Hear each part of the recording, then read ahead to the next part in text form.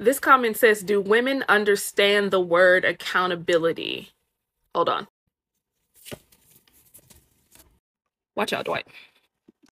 I do know what accountability means. So, this is a great time for you to learn that you're using the wrong word. The word y'all are actually looking for is punishment. When a lot of black men say held accountable, what they mean is, I want someone punished for the way that I feel. Side note, I just find it funny how black men have pretty much established that they have a very hard time with emotions, but are still convinced that they can lead black women through an accountability process.